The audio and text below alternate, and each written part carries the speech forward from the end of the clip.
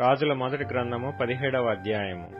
అంతట గిలాదు కాపురస్తుల సంబంధియును తిష్బీయుడునైన ఏలియా అహాబు నద్దకు వచ్చి ఎవని సన్నిధిని నేను నిలబడియున్నానో ఇస్రాయేలు దేవుడైన ఆ యహోవా జీవముతోడు నా మాట ప్రకారము గాక ఈ సంవత్సరములలో ముంచైనను వర్షమైనను పడదని ప్రకటించెను. పిమ్మట యహోవా వాక్కు అతనికి ప్రత్యక్షమై నీవు ఇచ్చట నుండి తూర్పు వైపునకు పోయి యొర్దానునకు ఎదురుగా కెరీతు వాగు దగ్గర దాగియుండుము. ఆ వాగు నీరు నీవు త్రాగుదువు.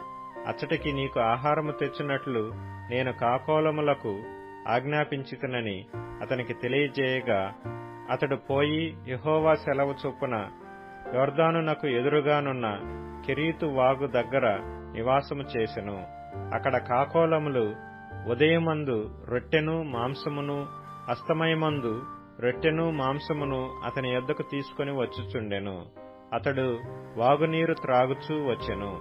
కొంతకాలమైన తరువాత దేశములో వర్షము లేక ఆ నీరు ఎండిపోయెను. అంతట యహోవా వాక్కు అతనికి ప్రత్యక్షమై ఈలాగు సెలవిచ్చెను. నీవు సీదోను పట్టణ సంబంధమైన సారెపతు అను ఊరికి పోయి అచ్చట ఉండుము.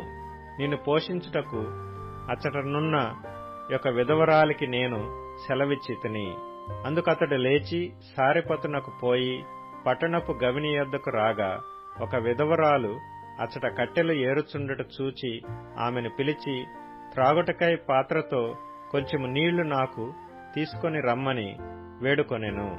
ఆమె నీళ్ళు తేబోవుచుండగా అతడు ఆమెను మరలా పిలిచి నాకొక రొట్టె ముక్కను నీ చేతిలో తీసుకొని రమ్మని చెప్పెను. అందుకామె నీ దేవుడైన యహోవా జీవము తోడు.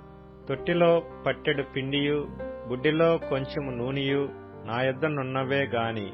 అప్పం ఒకటైనను లేదు. మేము చావక ముందు నేను ఇంటికి పోయి వాటిని నాకును నా బిడ్డకును సిద్ధము చేసుకొనవలనని కొన్ని పుల్లలు ఏరుటకై వచ్చి తినెను అప్పుడు ఏలియా ఆమెతో ఇట్లనెను భయపడవద్దు పోయి నీవు చెప్పినట్లు చేయము. అయితే అందులో నాకొక చిన్న అప్పము మొదట చేసి నా ఎద్దుకు తీసుకొని రమ్ము. తర్వాత నీకును నీ బిడ్డకును అప్పములు చేసుకొనుము. భూమి మీద యహోవా వర్షము కురిపించు వరకు ఆ తొట్టిలో ఉన్న పిండి తక్కువ కాదు బుడ్డిలో నూనె అయిపోదని ఇస్రాయేలీల దేవుడైన యహోవా సెలవిచ్చియున్నాడు అనెను.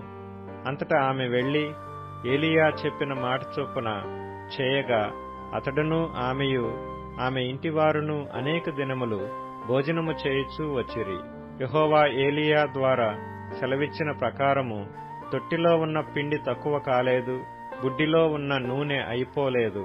అటు తర్వాత ఆ ఇంటి యజమానురాలైన ఆమె కుమారుడు రోగి అయి ప్రాణము నిలవజాలనంత వ్యాధి గలవాడాయను ఆమె ఏలియాతో దైవజనుడా నా యొద్దకు నీవు రా నిమిత్తమేమి నా పాపమును నాకు జ్ఞాపకం చేసి నా కుమారుని చంపుటకై నా యొద్దకు వచ్చితివా అని మనవి చేయగా అతడు నీ బిడ్డను నా చేతికిమ్మని చెప్పి ఆమె కవిగిటిలో నుండి వానిని తీసుకుని తానున్న పై అంతస్తు గదిలోనికి పోయి తన మంచం మీద వాని పరుండబెట్టి యహోవా నా దేవా నన్ను చేర్చుకొనిన ఈ విధవరాలి కుమారుని చంపునంతగా ఆమె మీదికి కీడు రాజేసితివా? అని యహోవాకు మొరపెట్టి ఆ చిన్నవాని మీద ముమ్మారు తాను పారచాచుకొని యహోవా నా దేవా నా మొర్ర ఆలకించి ఈ చిన్నవానికి ప్రాణము మరలా రానిమ్మని యహోవాకు ప్రార్థింపగా ఏలియా చేసిన ప్రార్థన ఆలకించి ఆ చిన్నవానికి ప్రాణము మరలా రానిచ్చినప్పుడు వాడు బ్రతికెను.